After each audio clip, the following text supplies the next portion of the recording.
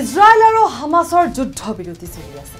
অৰ্থাৎ কিছু যেন সাম কাটিছে তাৰ মাজতে ৰৈ যোৱা আন এক যুদ্ধ যেন পুনৰ আৰম্ভ হৈছে। হয় ৰাছিয়া আৰু ইউক্ৰেইনৰ যুদ্ধ। ৰাছিয়া আৰু ইউক্ৰেইনৰ যুদ্ধ ক'ৰবাত সাম কাটিছে কিন্তু পুনৰ যেন উকমুকনি ঘটিছে। পুনৰ ৰাছিয়াই আক্ৰমণ কৰিছে ইউক্ৰেইনত। এই ঘটনা সংঘটিত হৈছে ঊনত্ৰিছ নৱেম্বৰৰ মাজনিশা অৰ্থাৎ ত্ৰিছ তাৰিখে। মাজনিশা বাৰ বজাৰ পিছত অৰ্থাৎ গোটেই নিশাটোৱে তাত আক্ৰমণ চলিছিল।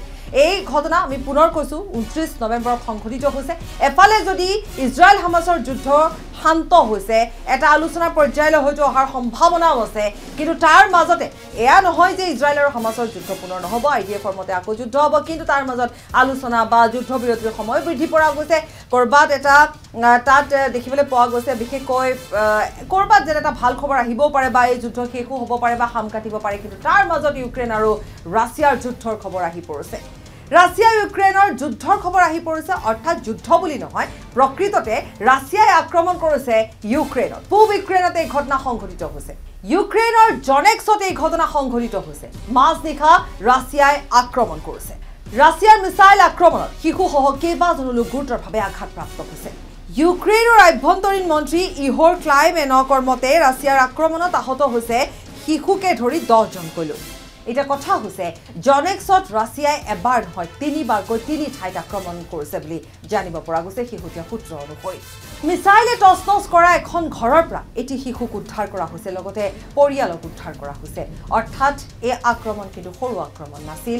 দহজনকৈ লোক গুৰুতৰভাৱে আঘাতপ্ৰাপ্ত হৈছে তাৰে এগৰাকী কণমানি শিশু। পুনৰ কৈছোঁ পূব ইউক্ৰেইনত ৰাছিয়াই কৰিছে মিছাইল আক্ৰমণ। এই মিছাইল আক্ৰমণত দহজনকৈ লোক গুৰুতৰভাৱে আঘাতপ্ৰাপ্ত হৈছে। পুনৰ এক যুদ্ধৰ উকমুকনি দেখিবলৈ পোৱা গৈছে। আনফালে ইউৰোপৰ নিৰাপত্তা সম্পৰ্কীয় বৈঠকত ৰাছিয়াৰ বিদেশ মন্ত্ৰী ছাৰ্গেই লেভৰভৰ অনগ্ৰহণক লৈ সূচনা হৈছে তীব্ৰ বিতৰ্কৰ বছৰেকীয়া বৈঠকত ৰাছিয়াৰ অংশগ্ৰহণৰ বিৰোধিতা কৰি ইউক্ৰেইনে বৰ্জন কৰিছিল বৈঠক। ইউৰোপৰ নিৰাপত্তা সম্পৰ্কীয় বৈঠকত ৰাছিয়াৰ বিদেশ ছাৰ্গেই লেভৰভৰ অংশগ্ৰহণক লৈ এতিয়া তীব্ৰ বিতৰ্কৰ সৃষ্টি হৈছে।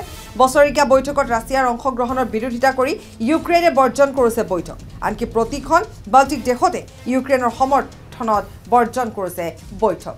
আৰু বছৰেকীয়া যি বৈঠক সেই বৈঠকৰ পৰা ইউক্ৰেইনে যিহেতু কৰাৰ বাবে আহ, ইউক্ৰেইনে সেই বৈঠক বাতিল কৰিছে বা বৈঠকৰ পৰা উঠি আহিছে। গতিকে আৰু দেখিবলৈ পোৱা গৈছে যে বাকী প্ৰতিখন বাল্টিক দেশে ইউক্ৰেইনক সমৰ্থন কৰি সেই বৈঠকত বহা নাই। সেই বৈঠকৰ পৰা উঠি আহিছে। সেই বৈঠক বৰ্জন কৰা দেখিবলৈ পোৱা গৈছে।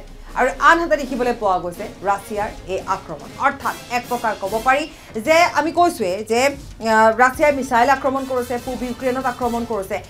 যিহেতু এখন যুদ্ধ চলি কিছু সাম কাটিছে যুদ্ধ বিৰতি ঘোষণা কৰা হৈছে। তাৰ মাজত ৰাছিয়া ইউক্ৰেইনৰ পুনৰ যেন যুদ্ধৰ ৰূপ মুকলি দেখিবলৈ পোৱা গৈছে। আৰু লগতে আমি কৈছোঁৱেই যে যি বৈঠক আছিলে যি বছৰেকীয়া বৈঠক থাকে সেই বৈঠকত ৰাছিয়াৰ অংশগ্ৰহণৰ পিছতে সেই বৈঠক ত্যাগ কৰিছে ইউক্ৰেইনে। গতিকে আৰু ইউক্ৰেইনৰ সমৰ্থনত ইতিমধ্যে আটাইকেইখন বাল্টিক দেশে ইউক্ৰেইনৰ সমৰ্থনত এই সভা বা এই বৈঠক বৰ্জন কৰিছে। গতিকে তেনে পৰিপ্ৰেক্ষিতত বা এই ঘটনাৰ পিছতে দহগৰাকীকৈ লোক গুৰুতৰভাৱে আঘাতপ্ৰাপ্ত হোৱাৰ পিছতে কিন্তু পুনৰ এবাৰ প্ৰশ্ন হৈছে আকৌ যুদ্ধ আৰম্ভ হ'ব নেকি?